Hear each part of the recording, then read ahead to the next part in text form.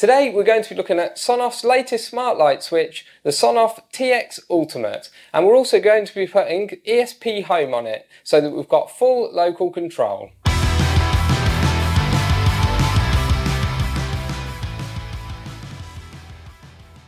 So taking a closer look, as soon as I pick it up it feels quite sturdy.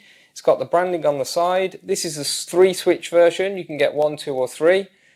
And looking at the back, it's got neutral, live in, live out, live out, live out, one for each relay. So this switch does need a neutral wire, which is a bit of a shame for some people. I've got a new build house and a lot of them don't have a neutral wire behind the switch, but some of them do. So make sure you take a look behind each one because you might be surprised that some of them actually do have a neutral wire available to you. One thing to be mindful of is, is that the screws are exposed at the back, so you just want to be careful with installation and if you put it in and take it out of the back box. So the first thing we need to do with this is we need to open it up so that we can flash ESP Home onto it. So I'll just briefly go through how you do it in this video, but there's lots of videos out there on how to flash Sonoff devices and similar devices. So this one is no different really. So once you've opened it up, what you're going to want to do is you're going to want to connect your FTDI adapter to the pins that are available. So the 3.3 volt, the ground, the receive and the transmit pins. And also you're going to want to find the pin that says boot, which is actually a little solder pin. And you're going to need to solder a wire from there onto one of the other ground pins. I used ESP tool to flash the firmware. I did have some issues at first and it seemed to be a problem because I actually had a really old FTDI adapter and I was struggling to get it into bootloader mode. But I bought a new FTDI adapter and as soon as I did that, it worked first time.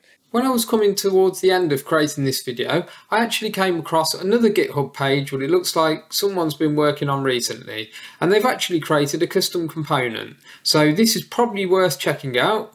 They've got a video as well and they've got lots of information. So I'll leave that in the description so you can take a look. So this is what the device looks like in Home Assistant based on the GitHub. You'll probably want to make some changes to simplify some things. As you can see here, there's quite a lot of entities at the moment. A lot of them are to do with the 28 individually addressable LEDs, and so you might want to simplify that a bit. If you look down here, you can see there's some sensors for the button presses.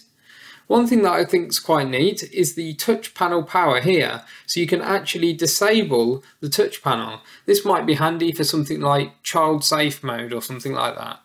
By default, the LEDs are set so that they're on red, very dim, all the time. And then when you press one of the switches, it lights up brighter.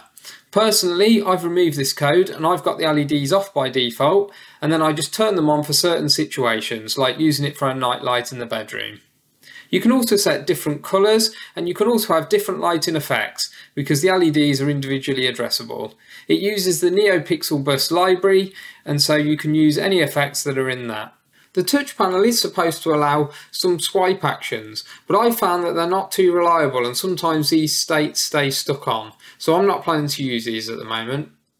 So if you look at the code in ESP Home, it's actually fairly simple to understand. So you can see that you've got all the sort of basic settings at the top. You've got some references to the two libraries that have been created from the GitHub. And then you've got the connections to the serial bus, which is used for the buttons. And then you've got basically the different configurations for the buttons. And then down here, you've got the binary sensors. And then here you've got the light entity. So we managed to get most of it working with ESP Home, which is great. We just need someone who's smarter than me to figure out the speaker side of things, and also the gestures need a bit of improvement. Thanks again for the person who shared their GitHub to help me get up and running. I did a lot of troubleshooting myself to try and get as far as I could, but those switches were just too tricky to figure out. For me, the main thing really is turning the lights on and off and having the lights around the edge of the switch to, as a night light or as an indicator as to whether the switch is on or off. And I think it's great that you can configure that with different themes, different colours. It'll be really good for children's bedrooms.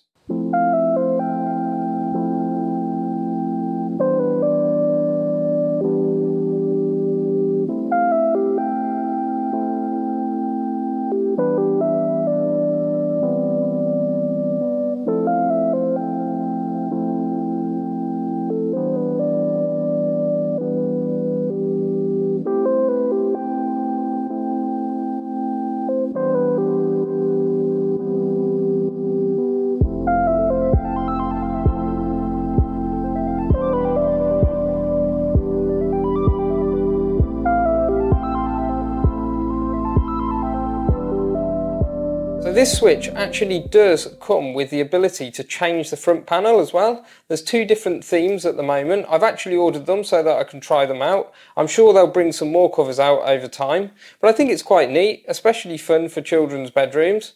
But the white one suits me just fine. One of the things I really like about this switch, like a lot of the smart light switches, is you can decouple the buttons from the actual relays. So you can actually control turning the lights on and off separately to the buttons and the buttons can do something else. So that's one of the reasons why I often get a three button light switch, even if I only need one or two, because then you can use that for turning scenes on and off for other things.